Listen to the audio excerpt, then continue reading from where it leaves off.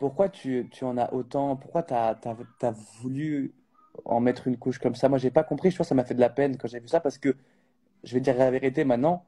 Moi aussi, j'ai vu des choses. Que, moi aussi, je suis allé dans cette maison. Tu parles de la maison de Aix, la première maison avec le grand jardin. Moi, j'y suis allé, j'y suis allé aussi plusieurs fois. Et moi aussi, j'ai vu un comportement de Julien qui m'a choqué. Ah ouais? Ouais. Mais je peux pas le dire parce que j'ai pas besoin, j'ai pas envie. Mais moi aussi, j'ai vu des choses et, et je pense surtout aussi que Julien, à ce moment-là, quand il était dans cette maison-là sous bracelet, du coup, là maintenant qu'on peut le dire, je pense que psychologiquement, ça allait pas. Ça, on, on a compris.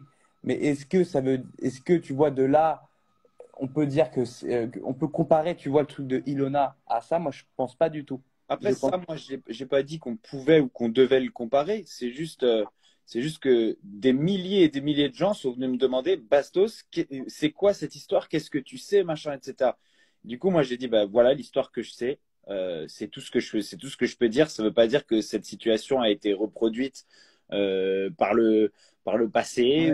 Pas ce que je vais dire, c'est juste, mm.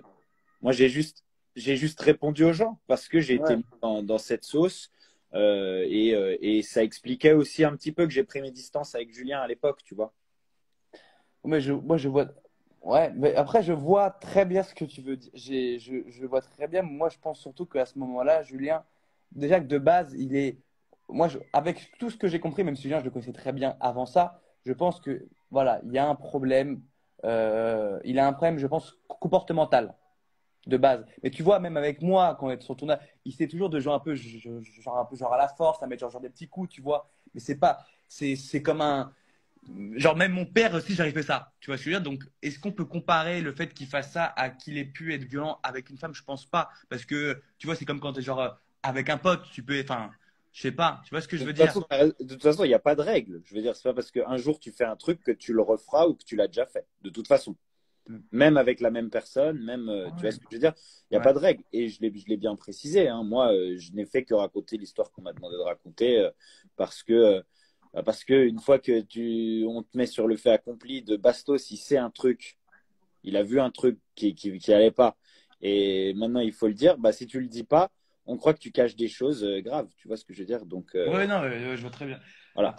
Moi, je n'en avais pas parlé. Hein. C'est, oui, non, mais je sais très bien. C'est pour ça qu'après. il a fait une story avec marqué Bastos, mouille-toi. Oui, j'ai vu ça après, en fait. J'ai vu ça après, j'avais pas compris. Mais, mais c'est vrai que voilà, quand, quand euh, tu bois un peu un coup, tu peux. Comme... Moi, je pense que par rapport à ce que tu as dit, c'est.